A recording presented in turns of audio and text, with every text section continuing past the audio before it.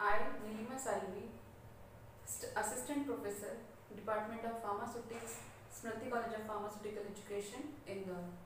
So, in previous video, we had learned about the stability studies or stability analysis in case of pre-formulation studies. And today we are going to deal in detail about the stability analysis. So, uh, in previous video we discussed about the five types of stability that was chemical stability, physical, therapeutic, toxicological and microbial stability. So today we are going to start with the stability first type that is stability study in toxicology formulation.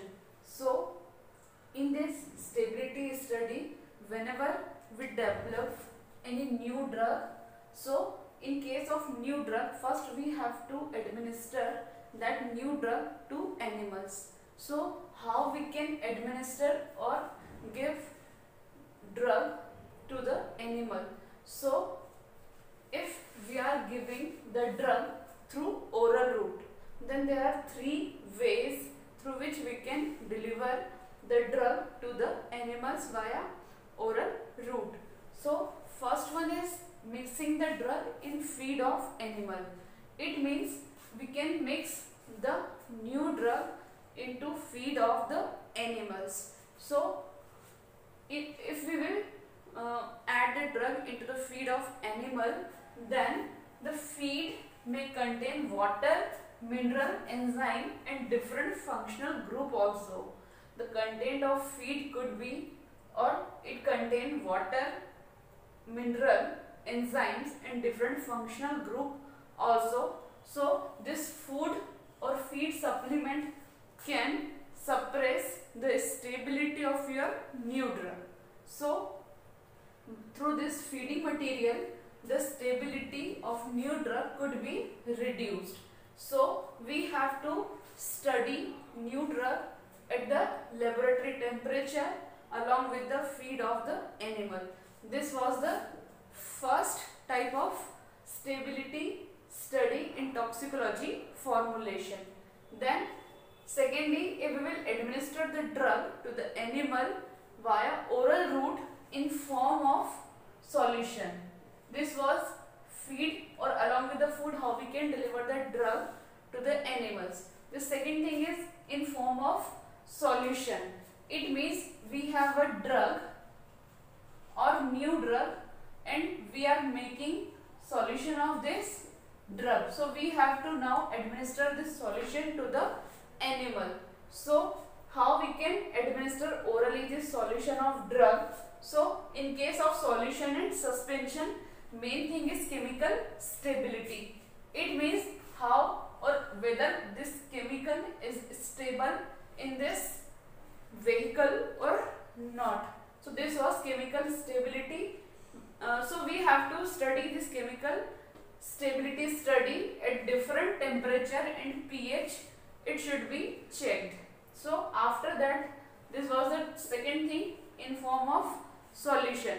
Third thing is that with or in form of suspension how we can deliver the new drug to the animals. So suspension is uh, in this we use insoluble solid or we have to deliver this insoluble solid into the or along with the dissolution medium. We suspend this insoluble solid into the dissolution medium with the help of any of the suspending agent.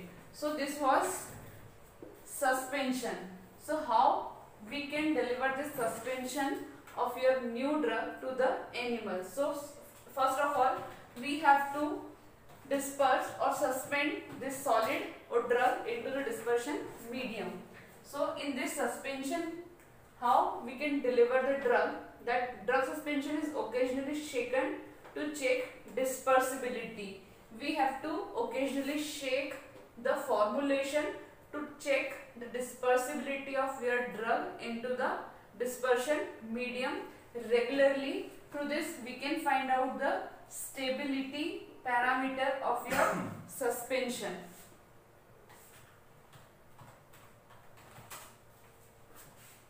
So second type of stability analysis is solution stability. This is second type of stability analysis, solution stability. So as we discussed about the solution stability, that the solution stability could be affected by different pH and temperature values. So main objective of this solution study is that uh, to identify the conditions which are necessary to form a stable solution. It means वो condition जो कि ज़रूरी होती हैं हमें एक stable solution को form करने के लिए so we have to identify those conditions so how we can now identify those condition to give a stable solution. So stability of new drug could be depends on in case of solution form. So stability of solution of any new drug may depends on first is pH. First it depends on the pH. Second ionic strength. Third is co-solvent. Then light, temperature and oxygen. So first we will discuss about the pH stability study or how the pH affect the stability of any solution. So whenever we uh, perform experiments to confirm the decay at extreme pH and temperature. It means at the elevated pH and temperature we perform different different experiments onto the solution to confirm the decay or rate of degradation of the drug into the solution form. So there are main three stability study which are performed. First is in acidic environment, second is on neutral and third in basic environment. In acidic 0.1 normal HCl and the temperature is constant in all the cases so in acidic point में normal H C L second neutral के लिए हम use करेंगे water and third for basic that is point one normal N H on this three different P H we will perform stability study at constant temperature in all the cases then we done this experiment to confirm the assay specificity and maximum rate of degradation how much the active get degrade into this situation. So we have to confirm the rate of degradation through this experiment and assay specificity. After that aqueous buffer are used to produce solution with wide range of pH. Generally we use aqueous buffers to produce wide range of pH value with constant drug concentration, co-solvent and ionic strength.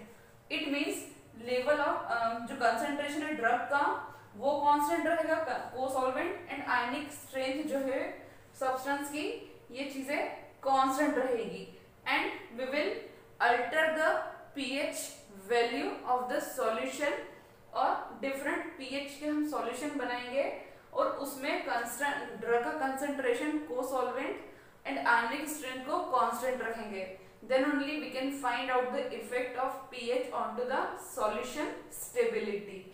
So this was the how the pH affect the solution stability. Second thing is that ionic strength. How the ionic strength affect the solution stability. So ionic strength in this most of the solution or most of the pharmaceutical formulation which are made or prepared they are generally for the parenteral purpose parenteral use. So in case of parenteral formulation the pH stability study should be carried out at constant ionic strength. So uh, what is the meaning of constant ionic strength? It means it should be or ionic strength must be compatible with the body fluids. So ionic strength should be matched or compatible with the body fluids. After that ionic strength is denoted by mu uh, ionic strength of an isotonic solution that is 0.1 normal 0.1 percent weight by volume sodium chloride is point fifteen sodium chloride जो होता है point nine percent weight by volume it is isotonic in nature and it's ionic strength is point fifteen after that ionic strength for any buffer solution can be calculated by this formula mu equals to one by two sigma M I Z I का square is molar concentration of the ion. Ions का molar concentration and Zi is valency of that ion. So this molar concentration and valency of ion we can find out the ionic strength of the substance or that compound. After that uh, this was ionic strength. Then third is co-solvent. So what is the meaning of co-solvent? That uh, those drugs which are poorly soluble in aqueous medium. So we choose any co-solvent. Co-solvent have mutual solubility or mutual nature for the solvent and solute. So in this co-solvent first we use co-solvent to dissolve the content or drug. After that we can make up the volume with the solvent.